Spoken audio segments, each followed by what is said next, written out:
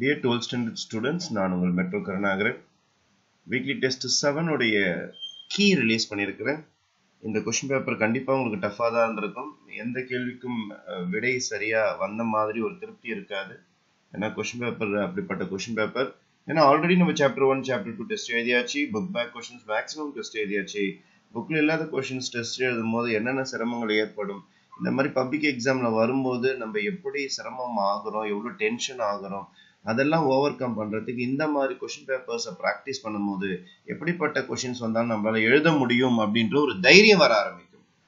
எதிர்க்க இருக்கிற எதிரி எப்படிப்பட்ட ஆயுதங்களால் நம்ம தாக்குவான்னு தெரியாமல் இருப்பது என்பது ஒரு கொஷின் பேப்பரில் எப்படிப்பட்ட கொஷின்ஸ் வரும்னு தெரியாமையே போகிறது ஆனால் எதிரி இப்படித்தான் தாக்குவான் அவனுக்கு சரியான பதிலடி இப்படித்தான் கொடுக்க வேண்டும் என்று தயாராக போவது தான் சரியான வீரனுக்கு அழகு. அதே மாதிரி ஒரு சிறந்த ஸ்டூடெண்டா இருக்கும் போது ஏட்டு சுரக்காயை மனப்பாடம் பண்ணிக்கிட்டு போயிட்டு கேட்ட கேள்வி புக்ல இருந்து அப்படியே வாந்தி எடுக்கிறது நம்மளுடைய வேலை கிடையாது.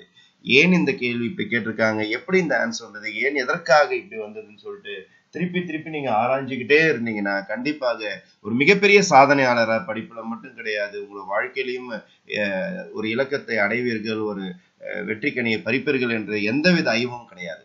ஆகிய ஸ்டூடெண்ட்ஸ் இந்த கொஸ்டின் பேப்பர் கொஞ்சம் வித்தியாசமாக தான் இருந்திருக்கும். இதில் ஃபிஃப்டி அவுட் ஆஃப் 50 எடுத்துட்டீங்கன்னா கண்டிப்பாக மனமார்ந்த பாராட்டுகள்.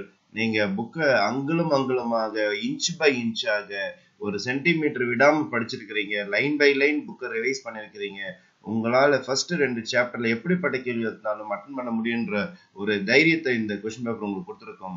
ஆகிய ஸ்டூடெண்ட்ஸ் ஆல் தி பெஸ்ட் சொல்கிறதுக்கு முன்னாடி இந்த கொஷின் பேப்பரில் இருக்கிற சம்ஸ் அனைத்தும் உங்களுக்கு ரைட்டா இருந்ததுன்னா என்னுடைய மனமார்ந்த வாழ்த்துக்கள்.